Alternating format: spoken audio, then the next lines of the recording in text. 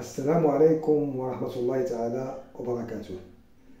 المنتخب المغربي للفوتسال يحقق فوزا ساحقا على نظيره الدنماركي ولكن قبل الدخول في التفاصيل ما تنساوش تدعمونا بالاشتراك والمشاهدات والإعجاب وإلى التفاصيل. في مباراة شيقة أقيمت يومه الثلاثاء 19 شتنبر 2023 على مركب محمد السادس بالرباط حقق المنتخب المغربي للفوتسال فوزا ساحقا على نظيره الدنماركي بنتيجة 8 الواحد. بدأ المنتخب المغربي المباراة بقوة حيث تقدم بهدفين في الشوط الأول عن طريق محمد أمين الحمامي وعبد الكريم المهدي.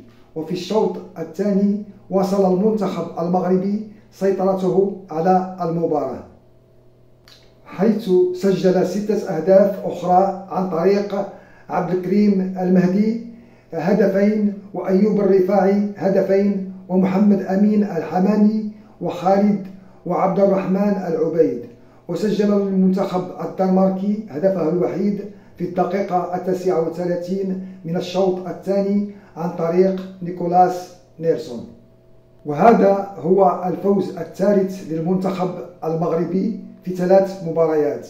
استعداد استعدادا لبطولة كأس العالم للفوتسال ل 2024 التي ستقام في بولندا وسلوفاكيا. ويعتبر هذا الفوز إنجازا كبيرا بالنسبة للمنتخب المغربي. ويحتل المنتخب الدنماركي المرتبة الثامنة والسبعين في التصنيف العالمي للفوتسال بينما يحتل المنتخب المغربي الرتبة الثامنة في التصنيف العالمي للفوتسال. ويتصدر المنتخب المغربي مع المجموعة الأولى للتصنيف العالمي حيث يمتلك 197 نقطة متقدما على المنتخب الإسباني. الذي يمتلك رصيد 195 نقطة. آه، فبالتوفيق لمنتخبنا المغربي الوطني للفوتسال. وشكرا لكم.